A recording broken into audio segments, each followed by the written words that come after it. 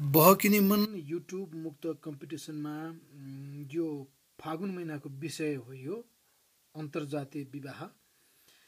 यही विषयमा तपाईँले फागुन महिनाको पन्ध्र गतेसम्म यही युट्युब च्यानलमा आफ्नो एउटा मुक्तक पोस्ट गर्नुहोला एकजनाले एउटा मात्रै।